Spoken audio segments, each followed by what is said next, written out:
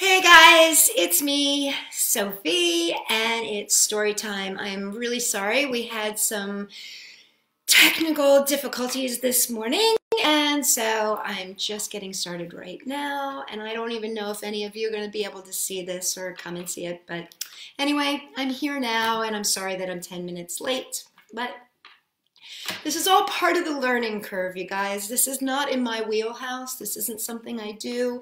I'm a child's entertainer. I do birthday parties and I spend time with children doing arts and crafts. And for me to handle all of this kind of Facebook Live stuff is really out of my wheelhouse. But I'm trying because I want to share what I can do. And one of the things that I do do is I tell stories and I do songs. So I'm sorry that these aren't perfect, but you know what? This is all part of the new world and learning how to deal with things. So here we go, guys. We're going to start all over from the beginning. I apologize for the technical difficulties, but let's say hello and let's just, you know what? We're going to shake it off and we are going to go. You ready? Let's say hello. I think, Gabby and Isabella are here, and Rosanna. Hi guys! And I think uh, I think I've got Frida and Alexis are here. Oh, and Shelby, great. Sorry about the technical difficulties, guys. Here we go. Let's get started. Let's have fun, shall we? Let's wave hello. Hello. How are you? Oh,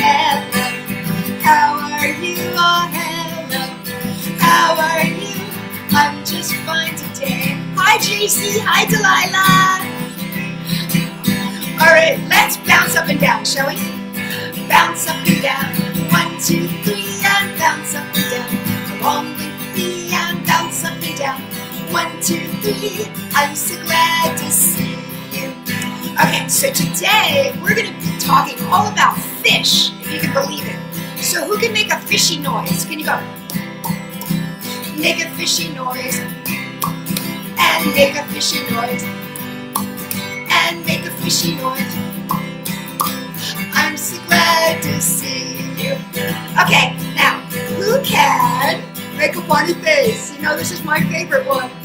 Make a funny face, how funny as you can, and make a funny face as funny as you can. Make a funny face as funny as you can.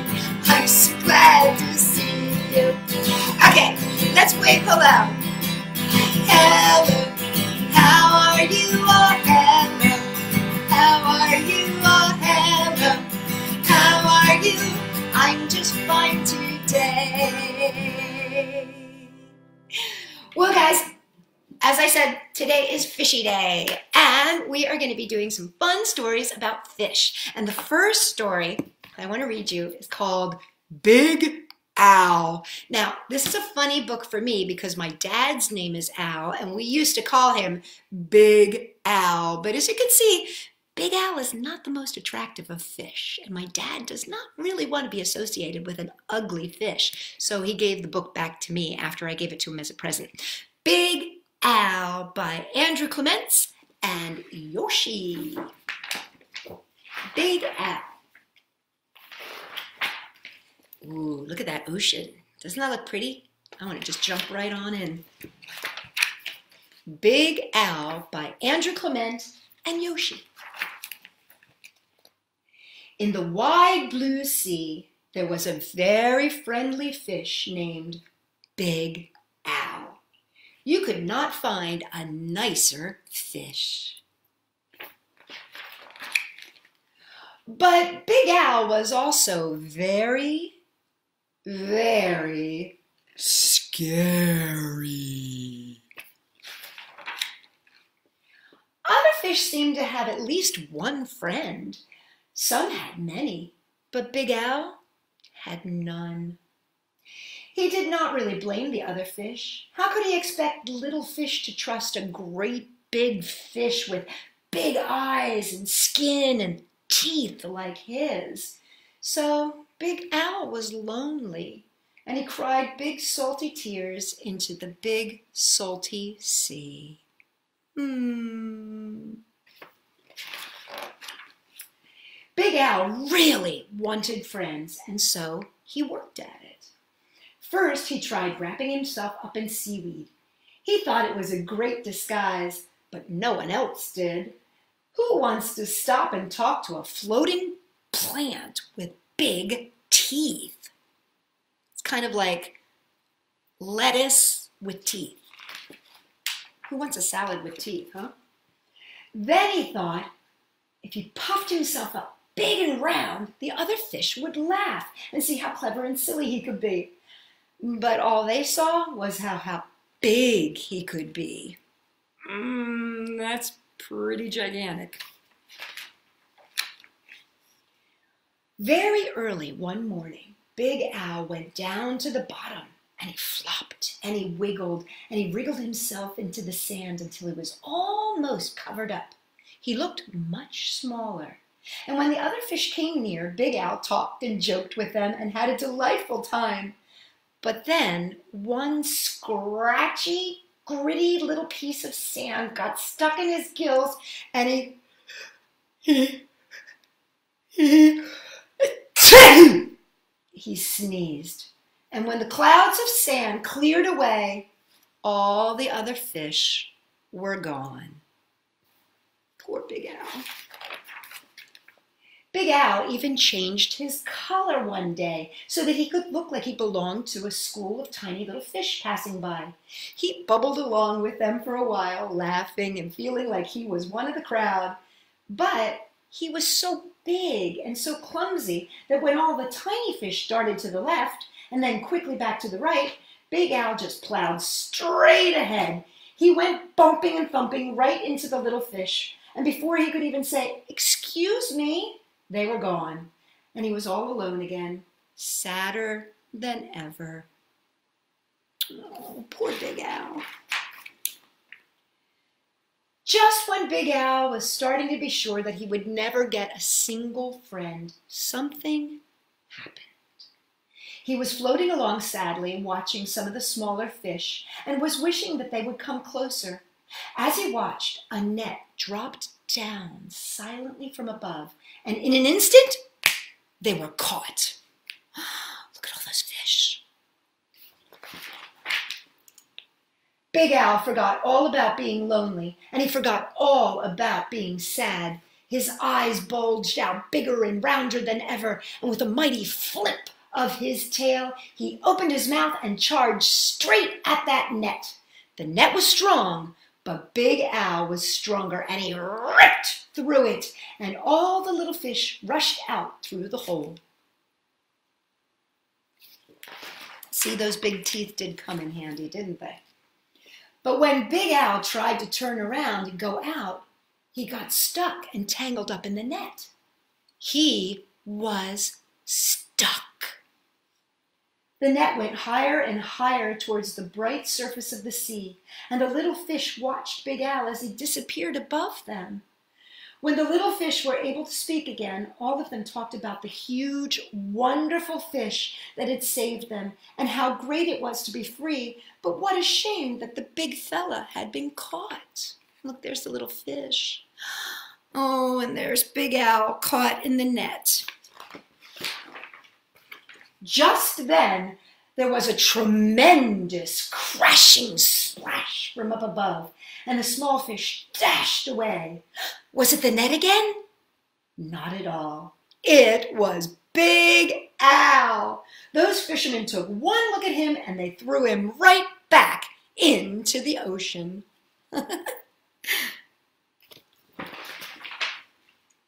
and now there's one huge, puffy, scary, fierce looking fish in the sea who has more friends than anyone else. Big Al. And there he is. He's looking pretty happy. He did some really amazing things, didn't he, Mr. Al? Big Al did a lot of stuff. He ended up with a lot of friends, too, just like he should, because he worked really, really hard.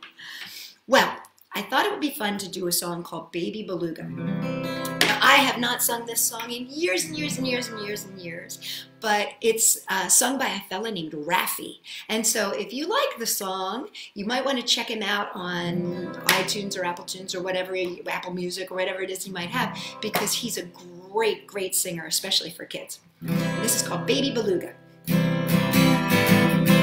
Well, baby beluga swim so wild and you swim so free. Heaven above and the sea below, and a little white whale on the go. Baby beluga, oh baby beluga, is the water warm? Is your mama home with you so happy? Way down yonder where the dolphins play, where you swim and you glide all day. Waves go out. See the water coming out of your spout. Baby beluga, oh baby beluga, sing your little song, sing for everyone. We like to see you when it's dark, home and fed. Snuggle up in your water bed. The moon is shining, stars are out. Good night, Baby beluga, oh baby beluga. Wait tomorrow's sun, another day's begun. You'll soon be waking. Baby beluga in the deep blue sea. You swim so wild and you swim so free.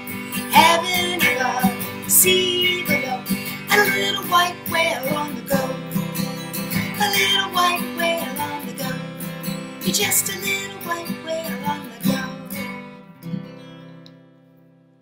There's our little baby beluga. Belugas are so cute. They're these little tiny whales, and they have big, kind of mushy heads. They're really cute. So Baby Beluga is my dear friend. And if you want to check him out on Raffi, he does a beautiful job of singing that song. Well, the next story I want to read you is called Swimmy. And this is by Leo Lionni. And Leo Lionni is one that we read uh, earlier. He had a book called The Extraordinary Egg. So this is Leo Lionni's Swimmy. Swimmy by Leo Lionni. A happy school of little fish lived in the corner of the sea somewhere. They were all red. Only one of them was black. He was black as a mussel shell, and he swam faster than his brothers and sisters, and his name was Swimmy. One bad day, a tuna fish, swift, fierce, and very hungry, came darting through the waves. In one gulp, he swallowed all the little red fish. Only Swimmy escaped.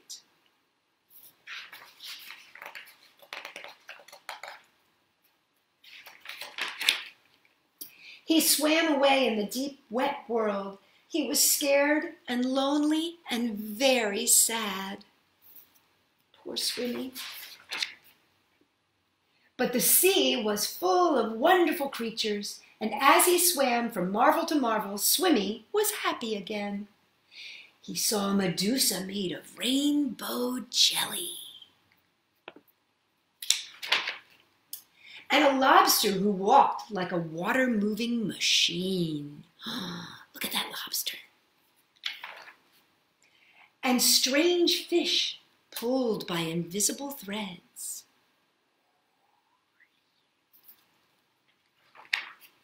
and a forest of seaweed grown from sugar candy rocks.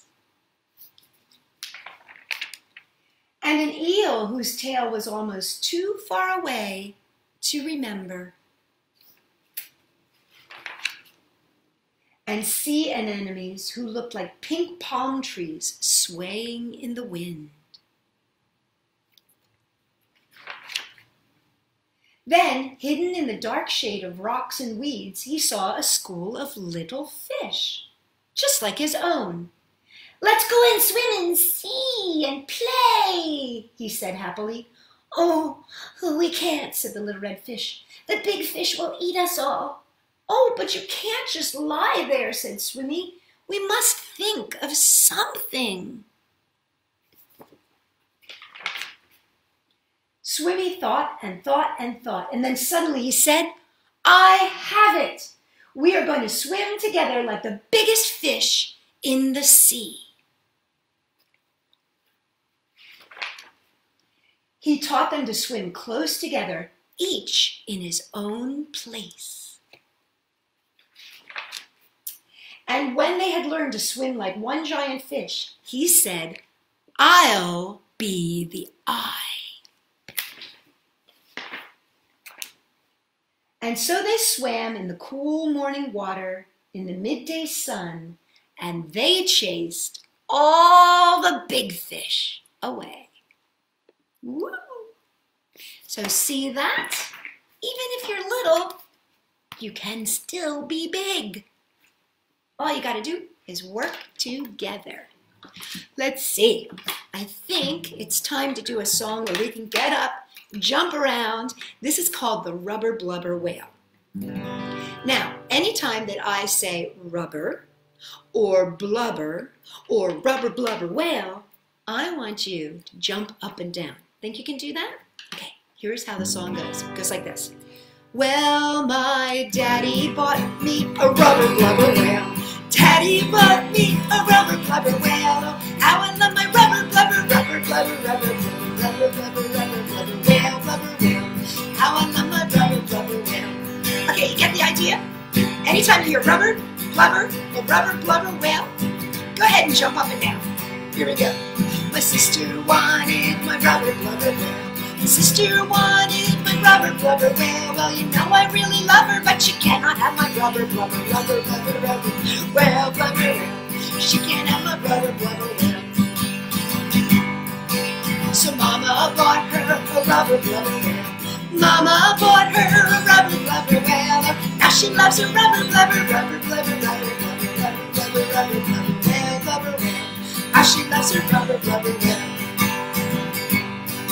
Well, we took all that with the rubber blubber whale. We went splish splash with the rubber blubber whale. Oh, rubber blubber, rubber blubber, rubber blubber, rubber blubber, rubber blubber, rubber whale, blubber whale. How we love our rubber blubber whale. Okay, everybody, jump as high as you possibly can. Here we go. Oh, we all love rubber blubber whales. We all love Oh, rubber blubber, rubber blubber, rubber blubber, rubber blubber, rubber blubber, rubber blubber whale, blubber whale. How we love our rubber blubber whale. There you go. Hopefully that got you up and moving. That's called the Rubber Blubber Whale, and that's in a book by Nancy Cassidy, who's also a great singer. If you want to look her up on um, iTunes or Apple Music, she's amazing. Her name is Nancy Cassidy. So many great, talented people out there. All right, let's read The Rainbow Fish. This is by Mark Pfister, and actually, Mark must be um, different uh, from a different country than us because this has been translated by J. Alison James, and it is called The Rainbow Fish by Marcus Pfister, translated by J. Alison James. The Rainbow Fish. I don't know if you can see, but he is very sparkly. A long way out in the deep blue sea, there lived a fish. Not just an ordinary fish, but the most beautiful fish in the entire ocean. His scales were every shade of blue and green and purple, with sparkling silver scales among them. Can you see those sparkle? Aren't those beautiful? The other fish were amazed by his beauty. They called him Rainbow Fish.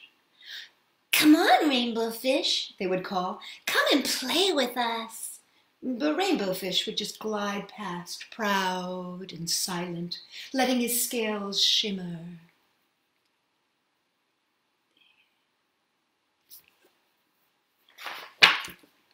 One day, a little blue fish followed after him. Rainbow Fish, he called, wait for me. Please give me one of your scales. They're so wonderful, and, and you have so many. You want me to give you one of my special scales? Who do you think you are? cried the rainbow fish. Get away from me. Shocked, the little blue fish swam away. He was so upset. He told all of his friends what had happened, and from then on, no one would have anything to do with the rainbow fish. They turned away when he swam by.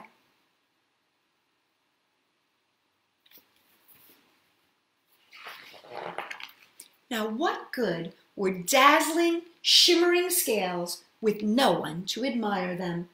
Now he was the loneliest fish in the entire ocean. One day he poured out his troubles to the starfish. I really am beautiful. Why doesn't anybody like me? Well, I can't answer that for you, said the starfish. But if you go beyond the coral reef into a deep cave, you will find a wise octopus, and maybe she can help you. I think they say starfish are supposed to be very, very, very, very smart. The rainbow fish found the cave. It was very, very dark inside, and he couldn't see anything. Then suddenly, two eyes caught him in the glare, and the octopus emerged from the darkness. Those two eyes. I have been waiting for you, said the octopus in a deep voice. The waves have told me your story. This is my advice. Give a glittering scale to each of the other fish. You will no longer be the most beautiful fish in the sea, but you will discover how to be happy.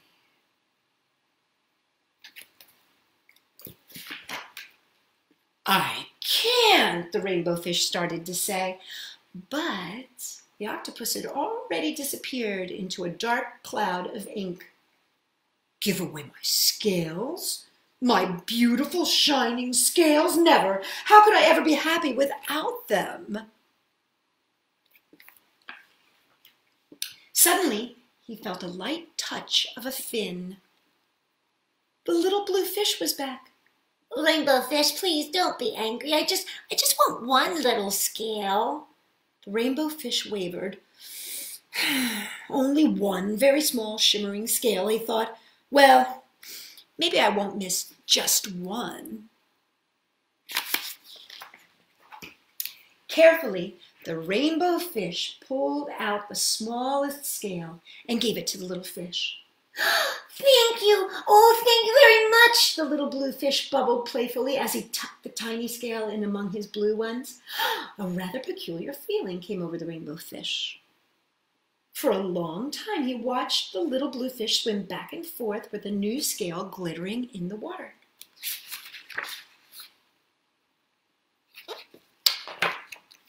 The little blue fish whizzed through the ocean with his scale flashing so it didn't take long before the rainbow fish was surrounded by other fish, everyone wanting a glittering scale.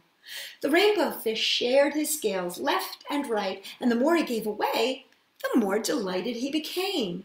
And when the water around him was filled with glimmering scales, he at last felt at home in the ocean. Finally, Rainbow Fish had only one scale left. His most prized possessions had been given away, yet he was very happy. Come on, Rainbow Fish, they called. Come and play with us. Here I come, said the Rainbow Fish, and happy as a splash, he swam off to join his friends. And that's the story of the Rainbow Fish. If you remember in the beginning, he had lots of scales. But at the end, he only has one, but he's a much happier fish. I think that's a pretty interesting story, isn't it? And that maybe the more we give, the more we get. It's a pretty good thing to think about, isn't it? Well, guys, it's time to go. And again, I apologize for the technical difficulties in the beginning. Hopefully, I'll have that all figured out for tomorrow. But come back tomorrow, and I'll have three more stories and two more new songs for you. So let's wave goodbye. Now it's time to say goodbye,